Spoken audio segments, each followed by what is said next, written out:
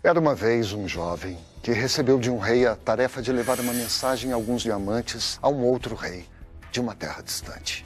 Para a jornada, foi-lhe dado o melhor cavalo do reino e um aviso do soberano: cuida do mais importante e cumprirás a missão. O jovem partiu cedo e sumiu no horizonte para que todo o reino soubesse que era um nobre e valente rapaz, pronto para desposar a princesa. Para cumprir rapidamente sua missão, exigiu o máximo do cavalo.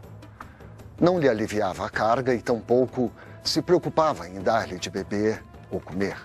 Assim, meu jovem, acabas perdendo o animal, disse alguém. Tenho dinheiro. Se este morrer, compro outro.